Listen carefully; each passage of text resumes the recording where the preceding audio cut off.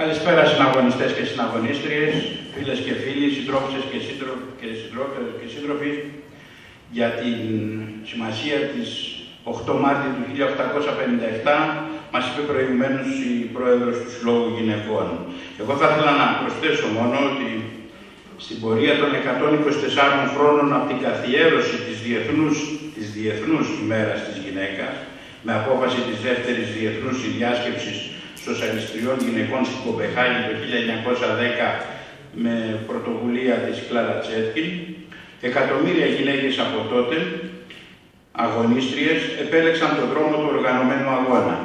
Εκατομμύρια γυναίκες, συμμετέχοντας στο λαϊκό κίνημα και στους εργατικούς αγώνες, ανάγκασαν το καπιταλιστικό σύστημα να παραχωρήσει κατακτήσεις στην εργατική και λαϊκή οικογένεια.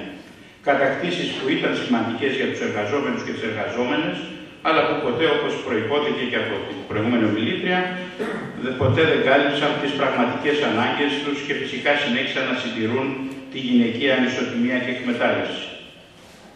Αντίθετα, στις χώρες που οικοδομήθηκε ο σοσιαλισμός, η γυναίκα γνώρισε στην πράξη πως η, η κατάκτηση της ισοτιμίας είναι σύμφυτη με το σοσιαλιστικό σύστημα που καταργεί την εκμετάλλευση ανθρώπου από άνθρωπο και μπορεί να παρέχει δομές και υπηρεσίες που πραγματικά υποστηρίζουν τη γυναίκα την ελευθερών. Κάτω από, το παράδειγμα, από την πίεση που άσκησε το παράδειγμα της Σοβιετικής Ένωσης και των άλλων σοσιαλιστικών χωρών, οι αστεί αποδέχτηκαν μόλις στις αρχές της δεκαετίας του 1970 στον ΟΗΕ να καθιερωθεί η 8 Μάρτη ως Παγκόσμια ημέρα της γυναίκας. Και η αλλαγή αυτή του όρου από Διεθνής ημέρα σε Παγκόσμια κάτι λέει, γιατί σήμερα έχουμε χορτάσει από παγκόσμιες μέρες. Μας κρούν τώρα είναι και η Παγκόσμια Μέρα κατά του ρατσισμού και μας τα λένε Αμερικάνοι, Βρετανοί που μέχρι το 1990 αρνούνταν στο Συμβούλιο της του ΟΗΕ, βάζαν βέτο να καταδικαστεί το Άπαρχαϊτ στην Νότια Αφρική και στη Ζιμπά, στη Ροδεσία τώρα. Αλλά αυτά ανήκουν στην ιστορία κατά τα άλλα. Εμείς αυτή είναι με την πρόοδο, εμείς είμαστε με το πιστογύρισμα. Η 8 Μάρτη είναι η μέρα των εργαζόμενων γυναικών όλων αυτών που δεν, αντέχουν, αν, δεν ανέχονται την εκμετάλλευση και την κυριαρχία του καπιταλισμού και αντιστέκονται. Με την ανατροπή του σοσιαλιστικού συστήματος και την επικράτηση της αντεπανάστασης, οι καπιταλιστές επιδιώκουν εντονότερα να ακυρώσουν αυτή την Παγκόσμια Μέρα της Γυναίκας ή να την εκφυλίσουν, να τη μετατρέψουν σε μια ταξική εκδήλωση. Ως λαϊκό κίνημα προασπίσαμε και συνεχίζουμε να την προασπίζομαστε τη μέρα αυτή ως την κληρονομιά των αγώνων για την ισοτιμία και τη χειραφέτηση.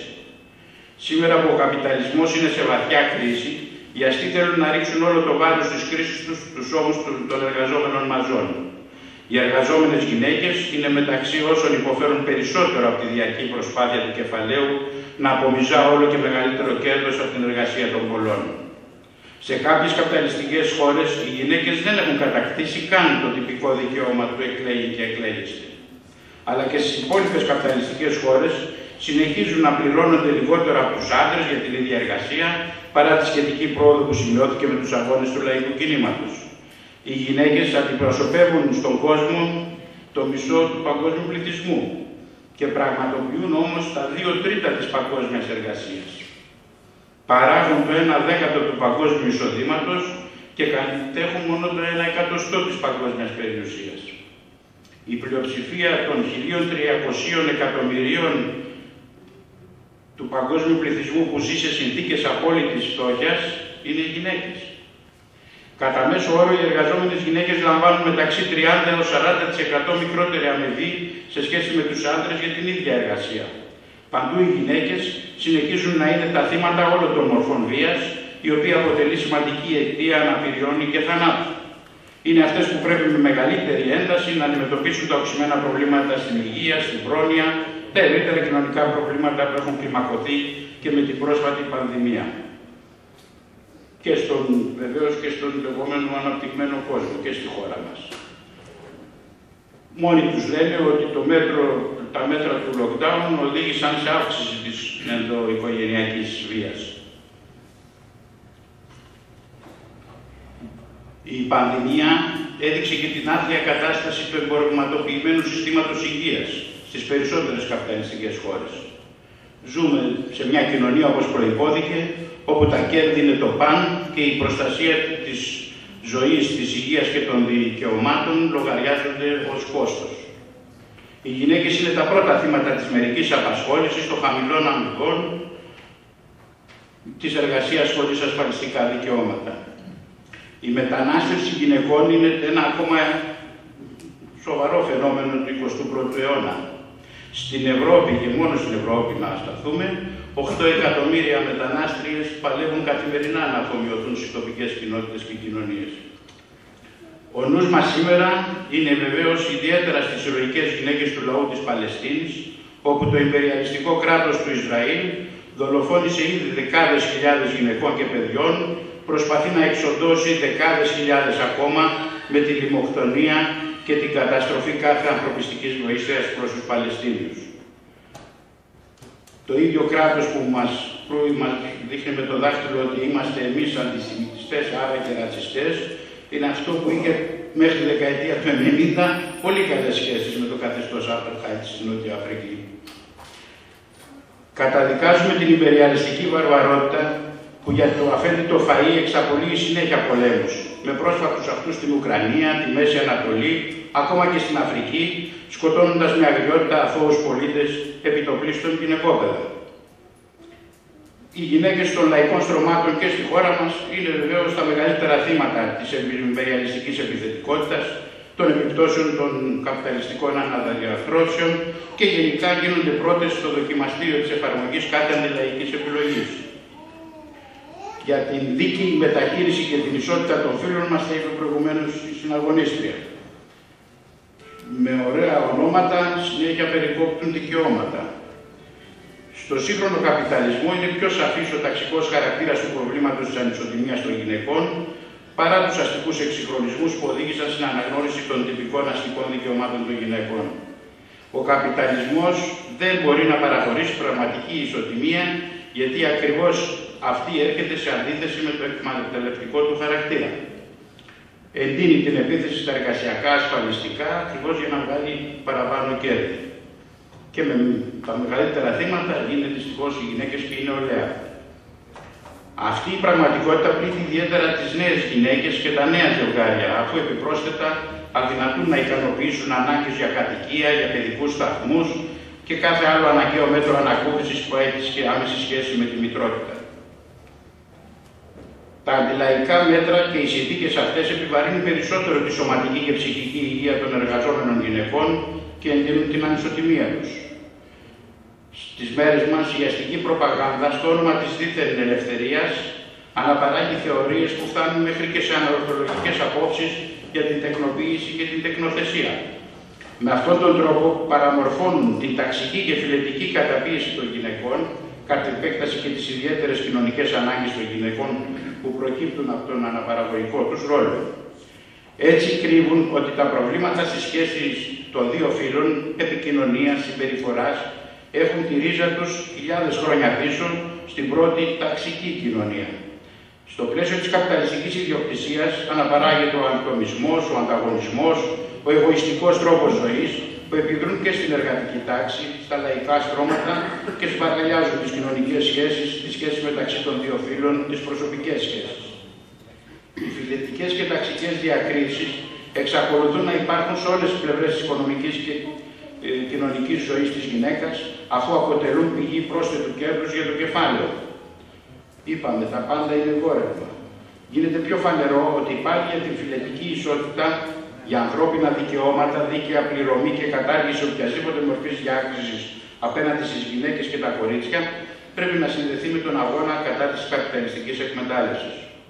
Όσο σωστό είναι ότι η γυναικεία χειραφέτηση πραγματώνεται ολόκληρα μόνο στο σοσιαλισμό, κομμουνισμό, αλλά τόσο είναι ότι χωρίς το μαζικό τράβημα της γυναίκας στην κοινωνική δράση και τους ταξικούς αγώνες, η ανατροπή του καπιταλισμού είναι ανέφικτη. Χρέος όλων των γυναικών της εργατικής τάξης και των άλλων καταπιεσμένων λαϊκών στρωμάτων είναι να αντισταθούν σε πολύπλευρη επίθεση του κεφαλαίου στα σκληρά μέτρα ενάντια στις γυναίκες της εργατικής τάξης. Να αγωνιστούν βέβαια μαζί με, το, με όλο το εργατικό λαϊκό κίνημα. Δεν μπορούμε να ελπίζουμε σε δίθεν τώρα από τα αστικά κόμματα και τις κυβερνήσεις. δεν μπορούμε να ελπίζουμε ότι οι εκατομμυριούχοι θα μας σώσουν από την οθριότητα που βιώνουμε. Μάθαμε από την εμπειρία μας ότι στον καπιταλισμό γυναίκες και άντρες μπορούμε να βασιστούμε μόνο στη δύναμη του εργατικού λαϊκού κινήματος, στον αγώνα για, σύγχρονες, για τις σύγχρονες ανάγκες μας. Το κανένας μόνος του κερδίζει συνειδήσεις. Αν θέλουμε να υπερασπιστούμε τα δικαιώματά μας και να βελτιώσουμε τη ζωή μας, θα πρέπει να παλέψουμε ενάντια στον καπιταλισμό. Το ΚΚΕ από την ίδρυσή του είχε σημαντική συμβολή στην αποκάλυψη της ουσίας του γυναικείου ζητήματος, στην πάλη κατά των σκοταδιστικών αντιλήψεων για τη γυναικεία βιολογική και πνευματική κατωτερότητα, για το μονοδιάστατο ρόλο της οικογένειας, της γυναίκας στην οικογένεια. Ήδη από την ίδρυσή του ζητούσε ψήφο στη γυναίκα όταν οι αστικές εφημερίδες ανακαλύπταν ότι με την περίοδο και με αυτά η γυναίκα είναι επικίνδυνη άμα ψηφίζει και δεν ξέρει θα τη βγει. Δεν σκεφτήκαν να το πούνε αυτό όμως για την εργάτρια στη δουλειά, μήπως να την ξεκουράσουν, μην τους καταστρέψει την παραγωγή. Σε όλη τη διαδρομή του διεκδίκησε το πολιτικό γάμο, την αναγνώριση των παιδιών εκτός γάμου, πότε έγινε αυτό επιτέλους πραγματικότητα στην Ελλάδα, δεκαετία μετά από 60 χρόνια από τότε που το έβαλε έτοιμα το ΣΕΚΙ και το ΚΚΕ. Τα δικαιώματα στην ασφάλιση και στη δουλειά και τόσα άλλα μέτρα που μετά από σκληρούς αγώνες χρόνων εντάχθηκαν επιτέλους στο αστικό δίκαιο. Είναι το πρώτο κόμμα που με την ίδρυσή του έβαλε επιτακτικά αυτά τα ζητήματα. Σε αυτόν τον αγώνα, στην αντιρρήνευτη πάλι των τάξεων, αναδείχθηκαν πρωτοπόρες γυναίκες κομμουνίστριες από τα πρώτα χρόνια της ίδρυσης του κόμματος. Έγραψαν λαμπρές σελίδες σε όλη την ιστορία της ταξικής πάλης στη χώρα μας, αντλούσαν τη ρορμή τους από τη συνείδηση και τη βαθιά πίστη στο σκοπό της πάλης τους για την κατάργηση της εκμετάλλευσης ανθρώπου από άνθρωπο. Λίγες στην αρχή, τις πρώτες δεκαετίες της λειτουργίας του ΣΕΚΕ και κατοπινού Κουκουέ, πάλεψαν με τεράστιες δυσκολίες στα εργοστάσια και στα χωράφια, άφησαν χρήσιμη σπορά για τους κατοπινούς χρόνους. Γυναίκες κομμουνίστριες όπως η Ηλέκτρα Αποστόλου, η Άβρα Βλάση Παρτσαλίδου, η Βιτσαρά και τόσες άλλες άφησαν έντομο, έντονο αποτύπωμα στην ιστορία του τόπου μας και προετοίμασαν το έδαφος για να δημιουργηθεί το θαύμα της δεκαετίας του 40-50 όπου η γυναίκα εντάχθηκε μαζικά στο κίνημα και το πλάι του άντρα έγραψε έδοξες σελίδες της ιστορίας του κινήματος. Οι μεγάλες απεργίες του Μεσοπολέμου των καπνεργατριών και των εργατριών στα υφαντουργία με την πρωτοβουλία των κομμουνιστών και την καθοδήγησή τους χάραξαν έντονα τον δρόμο της ταξικής πάλης της γυναίκας και έδειξαν ολοφάνερα ότι η ένταξη της Ελληνίδας εργάτριας στους κοινωνικούς αγώνες είναι και αναγκαία και εφικτή. Την περίοδο της κατοχής, το ΚΚΕ δεν πρατοστάτησε μόνο στην ίδρυση και στην καθοδήγηση του ΕΑΜ και των οργανώσεών του, αλλά συνέβαλε αποφασιστικά και στο να τραβηχτεί η γυναίκα σε αυτόν τον αγώνα. Στα χρόνια του Μεσοπολέμου πρέπει να αναζητηθούν οι ρίζες του μαζικού γυναικείου εθνικού απελευθερωτικού κινήματος που αναπτύχθηκε σε ολόκληρη τη χώρα με τη συμμετοχή χιλιάδων και χιλιάδων γυναικών. Στον εθνικό απελευθερωτικό αγώνα πήρε μαζικά μέρος και η ως τότε καθυστερημένη αγρότησα, που μετά από αιώνες προκατάληψης που την κρατούσε κλεισμένη στο σπίτι και στο χωράφι και δεν της έπεφτε λόγο ούτε για την πολιτική αλλά ούτε και για γράμματα, παρουσιάστηκε σαν λαμπρή αγωνίστρια. Επέδρασαν σε αυτό και βεβαίως και οι ηρωικές αγωνιστικές παραδόσεις της ελληνικής αγροτιάς, ιδιαίτερα στα χρόνια μετά τον Πρώτο Παγκόσμιο Πόλεμο, με τις μεγάλες αγροτικές κινητοποιήσεις, συλλαλητήρια και πορείες. Κατά την περίοδο αυτή, σημαντική ήταν η συμβολή των γυναικών στην οργάνωση συζητήων, στις μαζικές κινητοποιήσεις, στις κινητοποιήσεις των εργαζομένων των τραπεζών και των Υπουργείων για τρόφιμα και φάρμακα. Γυναίκες έκρεβαν αγωνιστές, ήταν σύνδεσμοι, μετέφεραν όπλα κάτω από τα μάτια του κατακτητή. Την περίοδο αυτή μαζικά οργανώνονταν οι γυναίκες στο ΚΚΕ. Το 1944 το ποσοστό των γυναικών πανελλαδικά έφτασε το 20% των κομματικών μελών, ενώ στην κομματική οργάνωση Αθήνας το 27%. Στην απελευθέρωση το 1945 το 7ο συνέδριο του ΚΚΕ έβαζε μάλιστα πλάνο οι γυναίκες να είναι το 50% των κομματικών μελών. Το πλατή γυναικείο κίνημα που είχε ακολουθήσει όλη την Ελλάδα ήταν κίνημα οργανωμένο όχι μόνο γενικά μέσα στο ΕΑΜ, την ΕΠΟΝ και το ΚΚΕ, αλλά και με ιδιαίτερες μορφές και δομές. Το ΕΑΜ είχε βοηθητικές γυναικείες επιτροπές σε όλα τα αργανά του από πάνω ως κάτω. Το ίδιο και το κόμμα. λειτουργούσαν σε όλη την Ελλάδα και άφησαν πλούσια πείρα για το επαναστατικό μας κίνημα. Βγαίνανε γυναικείες αντιστασιακές εφημερίδες στην Αθήνα, τον Πειραιά, τη Ρούμελη, όπως και άλλο έντυπο υλικό σε όλη την Ελλάδα. Στην Αθήνα από το Φλεβάρι του 42 κυκλοφόρησε η γυναικεία δράση ως δεκαπενθήμερο όργανο. Ήταν από τα πιο καλογραμμένα φύλλα του αγώνα και αγαπήθηκε πολύ. Μα η ιστορία της έκδοσης αυτής της εφημερίδας έχει και μια άλλη τραγική σελίδα. Για να το συνδέσω και με το ποίημα το προηγούμενο. Τον Αύγουστο του 1944 κυκλοφόρησε ένα, ένα φύλλο μισοτυπωμένο. Την τελευταία στιγμή έλειψε η ύλη, καθώς η υπεύθυνη είχε στο μεταξύ συλληφθεί και εκτελεστεί με φρικτά βασανιστήρια. Ήταν η ηρωίδα Ελέκτρα Αποστόλου. Στην Αθήνα επίσης έφερε η εφημερίδα Ελεύθερη Νέα, της ομώνυμης οργάνωσης. Από το 1943 το Γενάρη έβγαινε στον Πειραιά η φωνή της γυναίκας, σε τυράζ 5.000 φίλων στον Πειραιά είναι τώρα εφημερίδα και έβγαινε μόνο σε 5.000 φύλλα γιατί τα τεχνικά της μέσα δεν της επέτρεπαν περισσότερα. Και στην επαρχία σιγά σιγά ξαναβγαίνουν και άλλες παράνομες γυναικείες εφημερίδες. Η Ρουμελιώτισσα, η Θίελα στη Θεσσαλία, η Συναγωνίστρια στην Ήπειρο, τόσες και τόσες. Στη Θεσσαλία, η Θεσσαλία για το προβάδισμα, καθώς εκεί κυκλοφορούσαν πάνω από 20 εφημερίδες, γυναικείες εφημερίδες.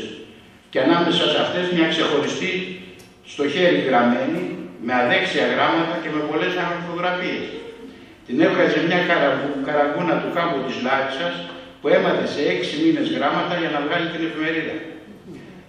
Όπως εύκολα καταλαβαίνει κανείς, οι εφημερίδες αυτές έβγαιναν με αφάνταστες δυσκολίες και όχι με λίγους κινδύνους. Οι συντάκτρες δεν είχαν δημοσιογραφική πείρα, οι περισσότερες πρώτη φορά έπιαναν την πένα για να γράψουν. Ωστόσο, αυτές μετέφεραν τη φλόγα του αγώνα, την ανάγκη και την πίστη του αγώνα που την ένιωθαν βαθιά. Το κίνημα των κοριτσιών της ΕΠΟΝ επίσης είχε ειδικές μορφές δουλειάς. Η οργάνωση Ελεύθερη Νέα που προ, προανέφερα ήταν και από τις ιδρυτικές οργανώσεις της ΕΠΟΝ. Η συμμετοχή των γυναικών στον Ελλάς δεν ήταν τόσο πλατιά, δεν υπήρχε τέτοια κατεύθυνση. Υπήρχαν όμως ορισμένοι υποδειγματικοί γυναικοί λόγοι, καθώς και κάμποσες αντάρτησες σε διάφορα τμήματα. Υπήρχαν επίσης και γυναίκες αξιωματικοί. Χαρακτηριστική περίπτωση πολεμίστριας ήταν η Μεργομένη Παπαϊλιού, κόρη του Θεμιστοκλή Ψυχρέμη από την Κόρινθο.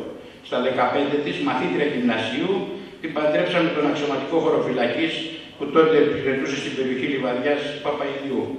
Παρόλο που είχε αποκτήσει ήδη τρεις κόρες, διαφώνησε με τον άντρα της ως προς τη στάση απέναντι στην κατοχή και το Μάιο του 1943 κατατάχθηκε στον Ελλάς με το ψευδόνυμο Θίελα. Υπηρέτησε στο τάγμα θανάτου, το τρίτο τάγμα του 36ου συντάγματος, δηλαδή της 13ης μεραρχίας. Διακρίθηκε σε πολλές μάχες και για, για την παλικαριά της. Στη μάχη της Μακρακόμης της 6 του Οκτώβριου του 1943 άρπαξε μια μοτοσυκλέτα σκοτώνοντας δύο Γερμανούς. Το Δεκέμβρη του 1944 με άδεια της 13ης μεραρχίας κατέβηκε στην Αθήνα για να δει τις κόρες της. Μόλις επέμπηκαν τα στρατεύματα του Σκόπη, έσπευσε να πολεμήσει από τις γραμμές του Ελλάς Αθήνα και έπεσε νεκρή στη μάχη της Ομόνιας χτυπημένη από αγγλικό τάγκ. Το αφιερώνουμε αυτό νομίζω όλοι μαζί στις κυρίες που, που μιλάνε για πλέξιμο καλτσόν και ότι τις γυναίκες ο Ελλάς τις ήθελε για άλλα πράγματα. Τότε στην κατοχή ήταν που ψήφισαν οι γυναίκες για πρώτη φορά, τόσο στην ελεύθερη όσο και στην κατεχόμενη Ελλάδα. Ψήφισαν στις εκλογές για το Εθνικό Συμβούλιο, όπου επίσης για πρώτη φορά εκλέχθηκαν και οι γυναίκες εθνοσύμβουλοι. Την ψήφο η Ελληνίδα δεν την πήρε χάρισμα, αλλά με τους αγώνες και τις θυσίες της και ιδιαίτερα με τη μαζική και ηρωική της συμμετοχή στην εθνική αντίσταση. Με αυτό το προηγούμενο δεν μπορούσε η άρχουσα τάξη να συνεχίσει να της αρνείται το εκλογικό της δικαίωμα και αναγκάστηκε να της το παραχωρήσει στα πρώτα χρόνια μετά την κατοχή. Τι ήταν αυτό που συσπήρωνε σε σπανελαδική κλίμακα τις Ελληνίδες στην κατοχή πέρα από τον κοινό πόθο για τη ελευθερία της πατρίδας; Ήταν και ο πόθος για μια καινούργια πολιτισμένη, αξιοπρεπή και ισότιμη ζωή. Τους πόθους αυτούς της Ελληνίδας τους εξέφραζε το ΕΑΜ σαν πλατιά μαζική εθνικοαπελευθερωτική οργάνωση, καθώς και το ΚΚΕ ως πολιτικό κόμμα. Οι παραδόσεις αυτές του μαζικού γυναικείου κινήματος της κατοχής είναι αδύνατο να ξεδοθούν. Και ας λέει η υπόλοιπη ό,τι θέλει. Οι αστείοι ό,τι και να κάνουν την ιστορία δεν μπορούν να τη σβήσουν. Στις 5 Μαΐου του 1944 έγινε στη Θεσσαλία η πρώτη συνδιάσκεψη περιοχής του Κουκουέ. Στην εισήγηση του γραμματέα του Θεσσαλικού Γραφείου, Κώστα Καραγιώργη του Δήμου, μεταξύ άλλων τονίζονταν για τις γυναίκες, το Θεσσαλικό Γραφείο πρόσεξε πολύ τον τομέα της γυναικείας δουλειάς. Κατόρθωσε να μπάσει στο κόμμα και στις μαζικές οργανώσεις την αντίληψη ότι χωρίς την ενεργό συμμετοχή της γυναίκας είναι αδύνατη μια ολόκληρη και στέρεα ανάπτυξη του κινήματος. Έτσι έχουμε μερικά σοβαρά αποτελέσματα στην ανάπτυξη ενός πλατιού γυναικείου κινήματος. 35% από όλους τους εργοοργανωμένους της Θεσσαλίας είναι γυναίκες. Στο ΕΑΜ 28%, στην ΕΠΟΝ 43%, στα ΕΤΟΠΟΥΛΑ 40%, στον Εφεδρικό Ελλάς 10% και στην Εθνική Αλληλεγγύη οι γυναίκες έχουν την πλειοψηφία με 52%. Στις γραμμές του Κομμουνιστικού Κόμματος 30% από τα μέλη μας είναι συντρόφισσες. Στην περιφέρεια Τυρνάβου 44%, Ελασσόνας 37%. Δεν πρόκειται μόνο για αριθμητική υπεροχή. Οι γυναίκες της Θεσσαλίας έπαιξαν έναν υπέροχο ρόλο σε όλους τους τομείς του κινήματος. Οι γυναίκες στο Βανακούλια μαζεύουν στρατιωτικές πληροφορίες περνώντας μέσα από τις γραφές του εχθρού. Στο μακριχώρι του Τυρνάβου έκαναν κλειό γύρω από τους άντρες που πήγαν να τους συλλάβουν οι Γερμανοί. Στο Σικούρι οι γυναίκες μπαίνουν επικεφαλές στις μαζικές κινητοποίησεις. Στην Ελασσόνα νέες συντρόφισσες περνάνε στρατιωτικά έγγραφα μέσα από την εχθρή ζώνη. Στον Πλατήκα όπου ρίχτηκαν οι Γερμανοί και σκότωναν και έκαιγαν, οι γυναίκες έμειναν στο χωριό, κρατούσαν την επαφή και ανεφοδίαζαν τους κρυμμένους άντρες. Έθαψαν τα πτώματα και όλη αυτή τη δουλειά την έκαναν οργανωμένα. Στα χωριά του Κισάβου φυλάνε φρουρά οι εφεδροελασίτισες, όπως και οι άντρες, και παίρνουν μέρος στο σαμποτάζ της συνδρομικής γραμμής. Γυναίκες με παιδί στην αγκαλιά κατέβαιναν από το χιονισμένο όρικο για να παρακολουθήσουν μορφωτικό μάθημα. Γυναίκες οργάνωσαν στην επαρχία Αλμυρού το συνέδριό τους και για να μην λείψουν περάσαν με φοβερή νεροποντή το ποτάμι ως τη μέση. Δεκάδες χιλιάδες ζυμώνουν, πλένουν, μπαλώνουν για τους αντάρτες. Εκατοντάδες γυναίκες είναι μέλη της Επιτροπής της Αυτοδιοίκησης ή στα λαϊκά δικαστήρια. Σε κανέναν τομέα της ζωής δεν γίνεται πιο αισθητή η κοσμογονική μεταβολή που βλέπουμε στη Θεσσαλία όσο στις γυναίκες. Όσο πάει η συμμετοχή της γίνεται πιο ενεργητική, πιο αυτόβολη, πιο ανεξάρτητα από τους άλλους. Τα ίδια ισχύουν και για την περιοχή της Ρούμελης και για όλες τις περιοχές όπου είχαν εγκαθιδρύθει τα πρώτα ψήγματα της λαϊκής εξουσίας.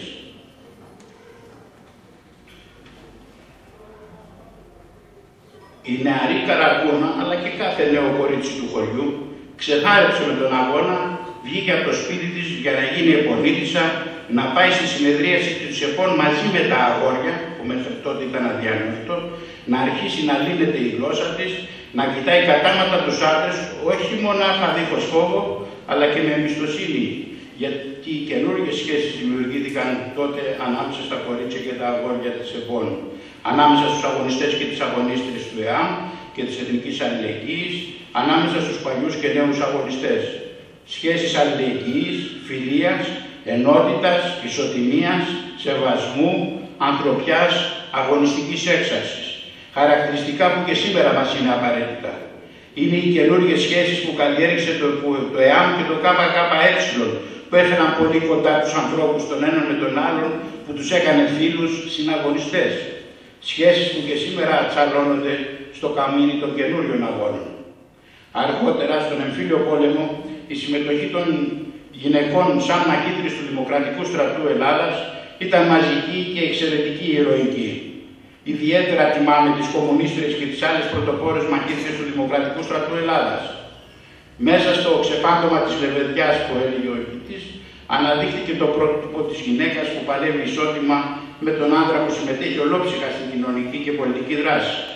Άλλες πάλεψαν με το όπλο στο χέρι, ως απλές μαχήτριες, ως αξιωματικοί και υπαξιωματικοί, πολιτικοί επίτροποι, άλλες στις διαβιβάσεις, ως σαποτέρ, άλλες συνέβαλαν στις υγειονομικές υπηρεσίες, άλλες αναδείχθηκαν στους λαογέννητους θεσμούς, συνέβαλαν στα μετόπι στενοσύνδεσμοι με την προκήρυξη και το φωνή στο χέρι.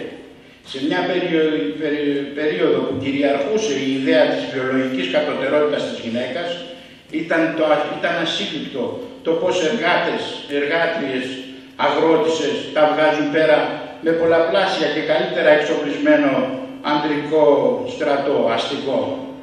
Τρώμαζε το βάρβαρο εκμεταλλευτικό σύστημα ο αριθμός της γυναικείας συμμετοχής στην κορυφαία περίοδο της ταξικής πάλης μου στη χώρα μας. Τότε αυτές τις αγωνίστριες οι αστεί της παρομοίαζαν ακόμα και με ίελες που πέφτουν πάνω στον αστικό στρατό. Και σήμερα θέλουν να μας, να μας τις παρουσιάσουν ως φοβισμένα κορίτσια που απλώς έβλεκαν την κάλτσα του στρατιώτη. Πολύ θυμωμένο το καταλαβαίνετε.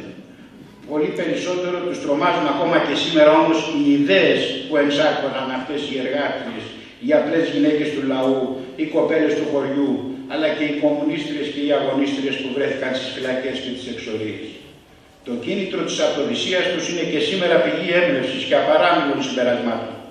Οι θυσίες τους δεν πήγαν χαμένες. Μας θυμίζουν ότι χρειάστηκε μια γυναικεία πρωτοπορία στις σκληρές ταξικές μάχες για να ανάψει η φλόγα της εισπύρωσης και του αγώνα στις πολλές γυναίκες. Αποτελούν την πηξίδα για το σύγχρονο και αθόρυβο ηρωισμό πρωτοπόρων γυναικών στα εργοστάσια, στα γραφεία, στις λαϊκές γειτονιές, στα πανεπιστήμια, οι μητέρες που με την αγωνιστική τους στάση ζωής γίνονται παράδειγμα για τα παιδιά τους. Η συμμετοχή των γυναικών στην κινητοποίηση του τελευταίου διαστήματος, στις απεργίες, στα συλλαλητήρια, στα μπλόκα του αγώνα της μικρομεσαίας αγροτιάς, δείχνει ότι μπορεί να γίνουν βήματα σε αυτή την κατεύθυνση, υπερβαίνοντας το χρήμα της μιλορατρίας ή τοπάθειας, που είναι, μόνο, που είναι μόνιμα στο προσανατολισμό της παρέμβασης των αστικών επιτελείων για τις γυναίκες. Από την πρώτη στιγμή του ίδρυσης του, το ΚΚΕ αντιπαλεύει αυτές τις ανισοτιμίες και διακρίσεις που υφίστανται οι γυναίκες από των λαϊκών στρωμάτων, αντιπαλεύει κυρίως τις σκοταδιστικές και επιστημονικές θεωρίες για το γυναικείο ζήτημα που διδάσκονται όχι μόνο στις νέες γυναίκες, αλλά γενικά στους νέους. Δεν πρόκειται μόνο για αναχρονιστικές και αντιδραστικές απόψεις που επιβιώνουν μέχρι σήμερα, όπως το πατρίς, θρησκεία, οικογένεια, οι οποίες θέλουν την γυναίκα δεμένη στον ατομικό νοικοκυριό, μακριά από την κοινωνική παραγωγή και την κοινωνική δράση. Οι σύγχρονες μορφές της γυναικείας ανισοτιμίας επενδύονται πλέον με το μανδύα του προοδευτισμού, διαμορφώνοντας τρευλές αντιλήψεις για τις αιτίες της ανισότιμης θέσης της γυναίκας. Παρουσιάζουν ως αιτία την αντίθεση των δύο φύλων, την πατριαρχική όπως λένε κοινωνία και εξουσία, προσπαθώντας να αναιρέσουν το γεγονός ότι η πηγή της γυναικείας ανισοτιμίας είναι η διαίρεση της κοινωνίας εκμεταλλευτές και σώσουν υφίστανται την εκμετάλλευση. Επικεντρώνοντας σε ζητήματα νοοτροπίας συμπεριφοράς των ανδρών προς τις γυναίκες, αθωώνουν στην ουσία την ανισότιμη ταξική κοινωνία και καλούν τις γυναίκες να στοιχηθούν πίσω από τους στόχους που, υπηρετούν ξένα προς το λαό, ξένα προς το λαό συμφέροντα. Θεοποιούν τον ατομισμό, φτάνοντας ακόμα και σε ανορθολογικές θέσεις περί ε, δικαιωματισμού κλπ. Στον αντίποδο αυτών των θέσεων είναι αυτή η ιστορική πείρα της δεκαετίας του 40-49, η πείρα του αγώνα για την απελευθέρωση του αγώνα του Δημοκρατικού Στρατού Ελλάδας, η πείρα των κατοπινών πολιτικών προσφύγων από τη σοσιαλιστική οικοδόμηση που άνοιξαν τον δρόμο για την κατάκτηση της πραγματικής ισοτιμίας των γυναικών. Από αυτή την πείρα καλούμε να διδαχτούν οι γυναίκες του Μόχο αλλά και όλος ο εργαζόμενος λαός με κριτήριο και τις δικές τους ανάγκες, τις σύγχρονες ανάγκες και να δυναμώσουν το ποτάμι της κοινωνικής απελευθέρωσης. Ευχαριστώ.